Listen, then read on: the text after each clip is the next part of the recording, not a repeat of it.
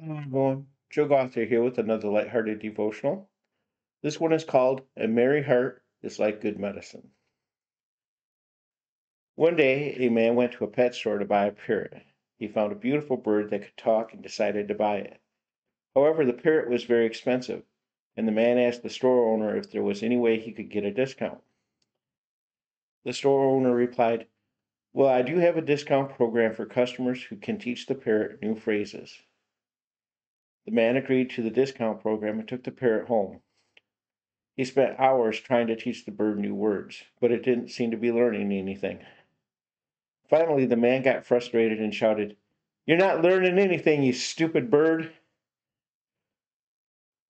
The next day, the man had some friends over to his house. As they were all sitting around, the parrot suddenly spoke up and said, You're not learning anything, you stupid bird! Everyone burst out laughing, and the man couldn't help but join in. From that day on, the parrot became the life of the party, entertaining guests with its hilarious phrases and antics. The man never regretted purchasing the parrot, as it brought so much joy and laughter into his life.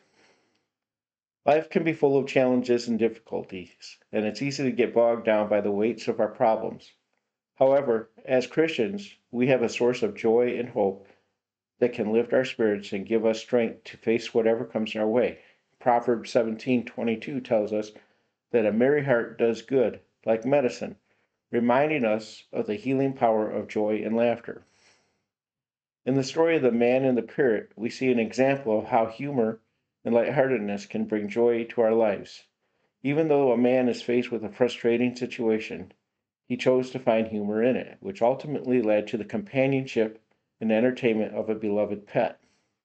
Likewise, in our lives, we can choose to seek out things that bring us joy and laughter, which have a positive impact on our physical and emotional health.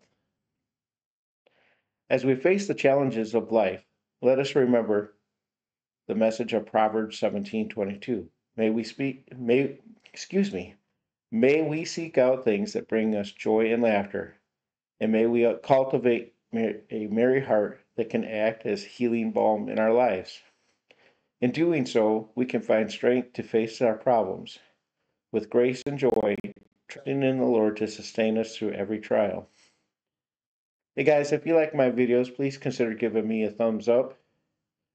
Maybe subscribe to the channel with the bell notification on, and share this video with anyone you think might enjoy it. I hope you have a great and blessed day. God bless you all.